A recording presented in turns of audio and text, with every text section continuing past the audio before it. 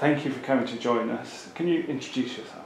Um, I'm Debbie Lawlor, I'm a Professor of Epidemiology from the MRC Integrative Epidemiology Unit at the University of Bristol. Thank you. And can you tell us when you got first got interested in public health?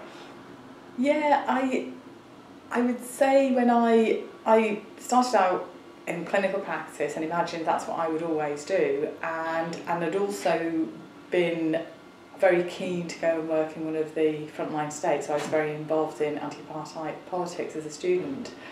And so went to work in Mozambique doing child and maternal health.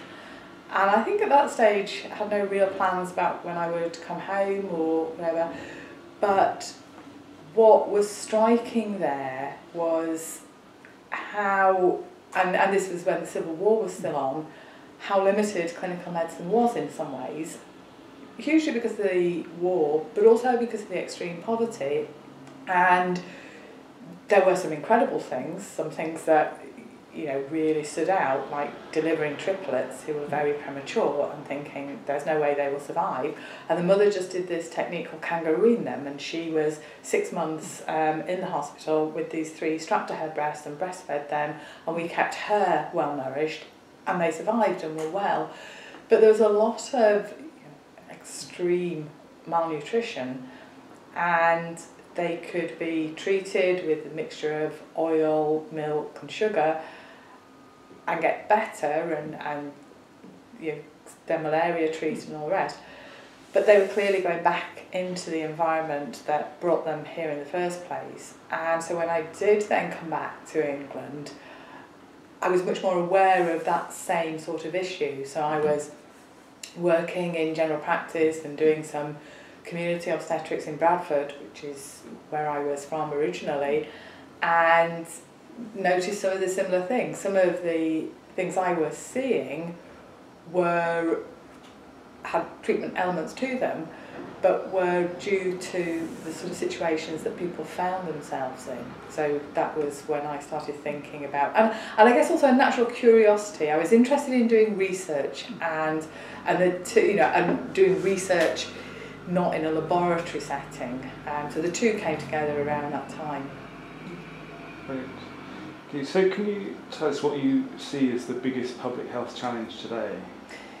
Yeah, I guess it, it sort of, um, sadly, is maybe similar to what I felt when I first started. So I think the big public health challenges are not areas I particularly work in, but they are war and refugees and displacement, climate change, the, the sort of huge threats that I think people try and underplay that are worrying, certainly for next generations, that have some solutions but we don't quite know what to do. Um, I, it, it sounds when I sort of say that it sounds a bit like Miss World, I want world peace kind of thing. Um, and is it realistic? Just going back to Mozambique, um, there was a really emotional day for me and other people two weeks ago when the last landmine in Mozambique was cleared. So this is, you know, well over 20 years since peace and the country's still being blighted by the effects of landmines. But, and, and I guess also these big things, you know, I never thought Nelson Mandela would be freed. I never thought we'd have peace in Northern Ireland. Never thought apartheid would stop there were times when you didn't think the war would stop in the frontline states, but they did, and though there are still problems in those countries, they're thriving.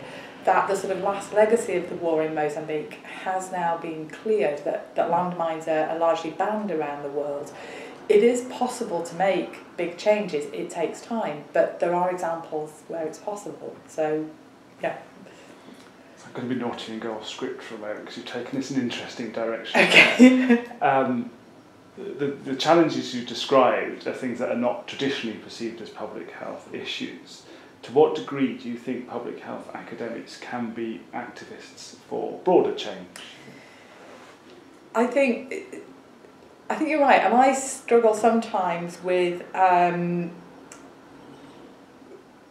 the work that is done in public health, highlighting the health effects of these things as if you know, if it weren't for the health effects of, for example, inequality, then that inequality wouldn't matter. If it wasn't for the health effects of climate change or, or war and refugee status, then those things wouldn't matter. To me, they matter almost irrespective of their health Yeah.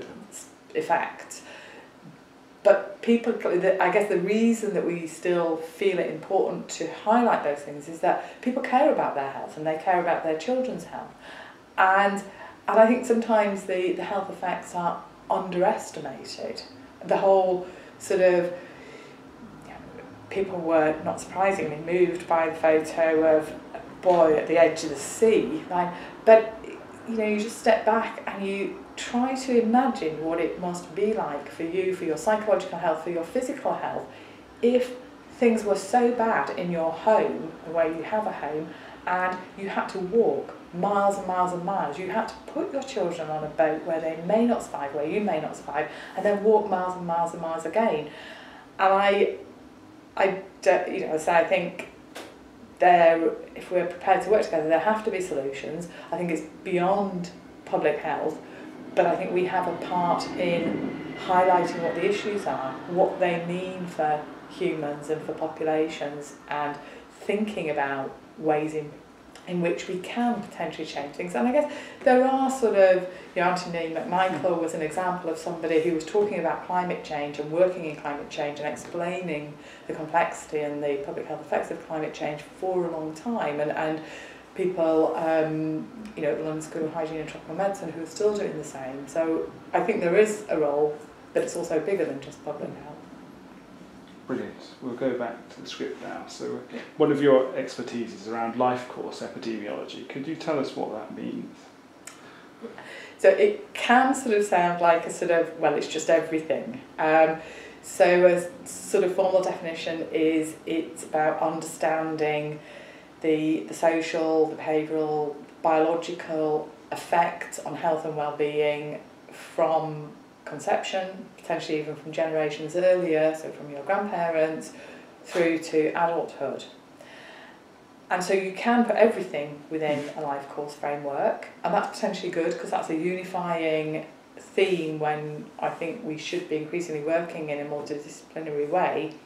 Um, but I think it's not, you know, if you look at an exposure in childhood with an outcome a few years later, it's not necessarily in a life course Mm. framework, and and it's more in analytical terms trying to understand when the best times may be to intervene. So if I think of an example in the area that I work in, there's a huge amount of interest in sort of broadly termed developmental origins that things that women do during their pregnancy or exposures that they are things that they're exposed to during their pregnancy have a lasting effect on the health of their children.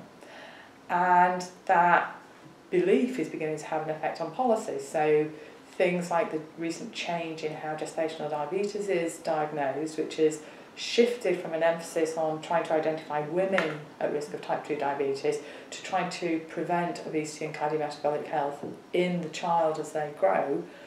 And the American sort of guidelines about restricting weight gain in pregnancy, again with the same aim, but actually with really poor evidence that there will be that effect.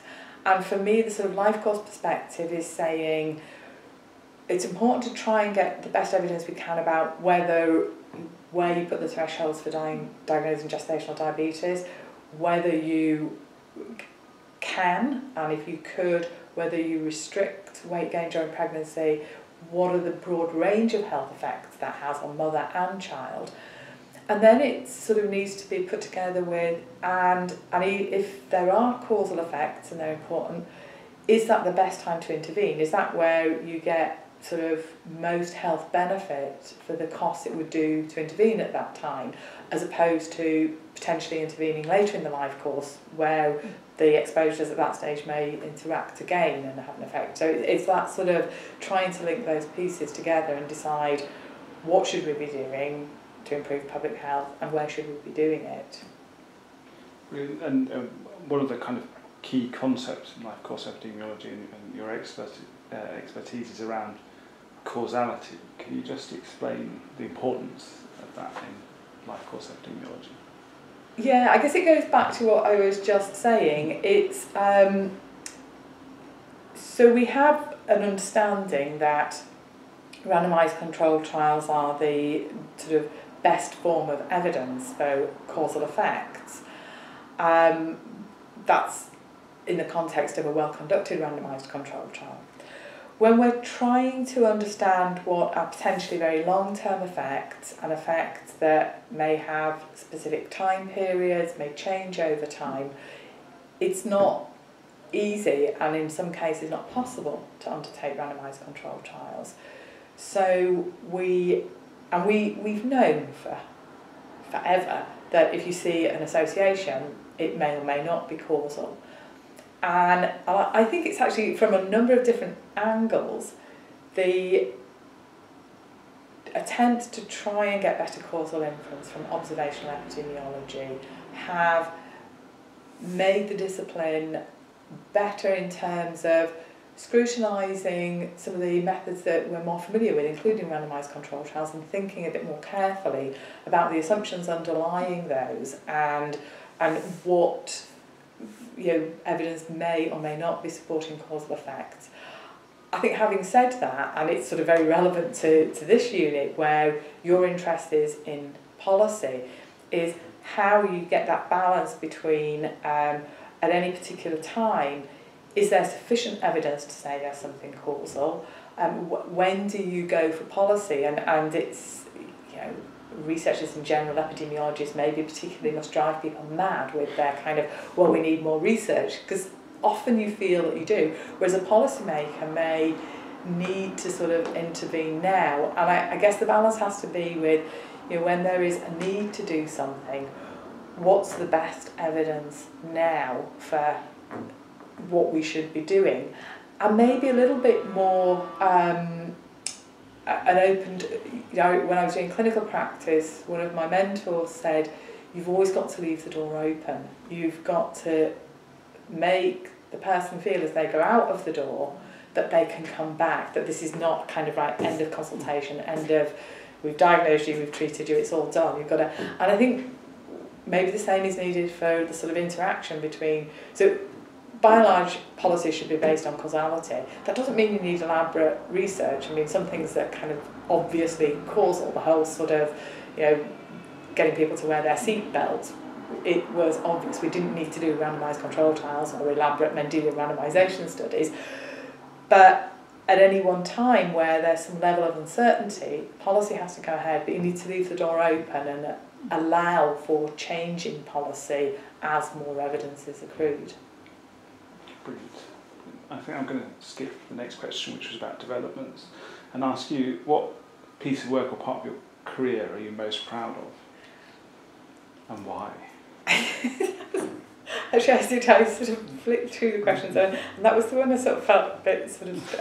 I think it's maybe because because um, I'm from Bradford and from a, um, a, a family background where nobody went to university, and and so and say you're proud, it's like that pride comes before a fall. It sort of implies I've done something great when in actual fact, in, in work, uh, in all the different places and things I've done in work, I've always felt, felt incredibly privileged that I'm doing a job where, yeah, there are days when you kind of wish you hadn't got out of bed, but by and large, I just find what I do is rewarding and interesting and I'm privileged to be able to do that.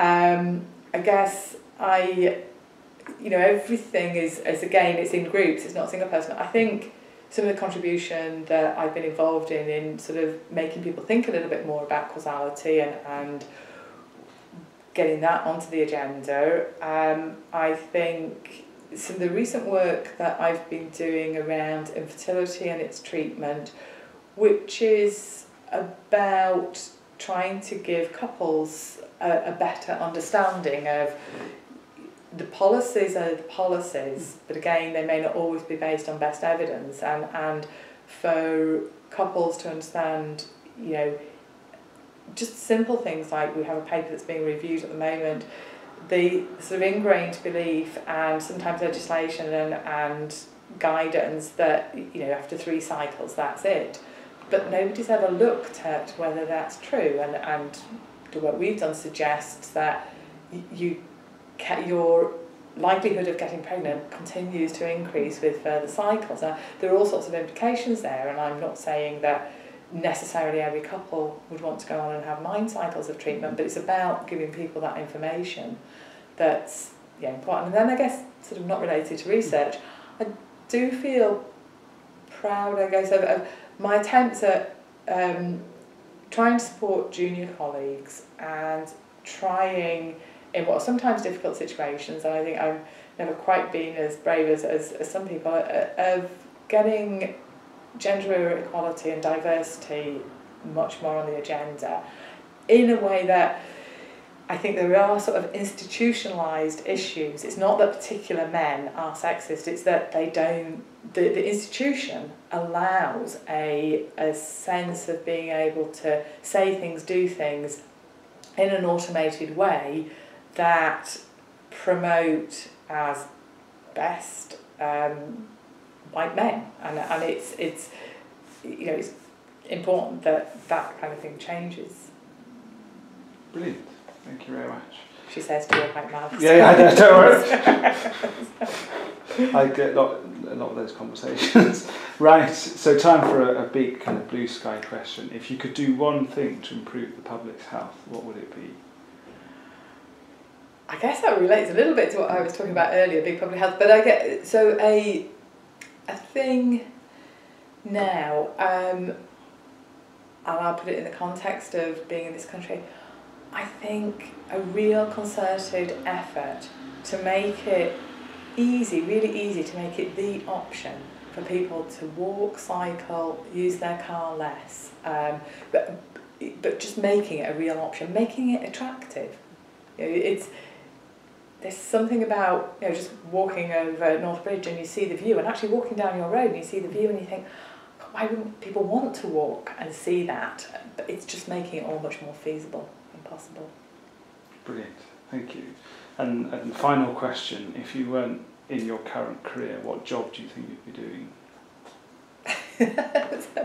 that was another one that sort of made me laugh a bit. I think because um, you know, I was sometimes that's asked as you know what do you want to be when you're a child and I, I sort of don't remember um, the, I what I do remember is I knew I liked school a lot and the sort of the area I was from the, the comprehensive went to we didn't have a sixth form because they didn't expect anybody to need it and most of my friends sort of left school at 16 you could go to the direct grant school if you'd done well at O levels and so I went from a sort of um, mixed sex comprehensive school to an all girls direct grant school, uh, which was very strange. And the um, headmistress kind of interviewed me. It seems very strange now, and said, "Oh, you've done very well in your O levels. Um, what are you going to do at A level?" And I'd, in my head, because I didn't know people who'd gone to university, thought we do quite a few subjects at O level and then you do fewer at A level and then you do one at university. And beyond that, I had no idea at all. And so I sort of, and I thought there was a set block of things you could learn. So I sort of I could probably do four A levels, and I'd thought about it, and you know my favourite ones. And I, so I said oh, I want to do maths, physics, history, and English literature, and she said no, no, no, you can't do that. You've got to think about what it is you're going to do at university, and and sort of you know you've got to do humanities or arts or science. And I was already beginning to be confused by the words she was using, and then she said you're good enough to do law, engineering or medicine. What do you want to do? And I just did this great thing of something I'm getting more and more embarrassed. Engineering, I missed it with car mechanics. So I thought, I can't even understand why she's talking about that. Law, I just had, you know, my dad's voice in my head going, the fucking law. So I thought, no, don't do mm-hmm. that. And so I said, what's medicine? And she said, oh, you'll be a doctor. Um, is that what you want to do? Very good, off you go. So that was how I ended up doing medicine. Um, and I sort of reflect on that sometimes, and I think, just actually getting to the point, um, I, I have no regrets at all, and I've really enjoyed and continue to enjoy my work. But I suppose I, I still liked the history and, and the literature and and I guess like a lot of people I love reading and I love doing sort of arts things and I sometimes think, oh, when I retire, if I retire, I, I might write something. Brilliant. Brilliant.